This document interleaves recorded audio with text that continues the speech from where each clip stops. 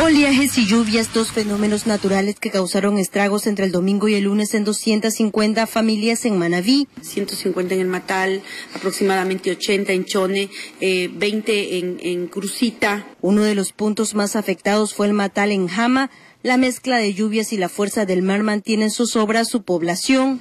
Y aquí el lodo, el lodo lo daba aquí a la rodilla, aquí lo daba el lodo. Todo, hasta las 10 de la mañana estuvimos echándole aquí el saco. Eh, también el, barranco tenemos miedo porque también las corrientes del niño se deslaven y nosotros salgamos abajo. En el barrio Puerto Nuevo, 20 familias fueron evacuadas, 15 están en albergues.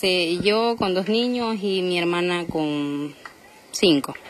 ¿Tuvieron que salir? Sí, tuvimos que salir de mi hermana porque estaba sobre la orilla del mar, ya se había ido la casa. Yo dejé mi casa ahí con todo. Yo no traje nada porque me trajo nomás. Hay quienes han optado por desarmar sus casas para salvar parte de sus pertenencias. Lo que está habla, lo que más se pueda, digamos, lo que es el techo, todo, la verdad, lo que es tira, todo.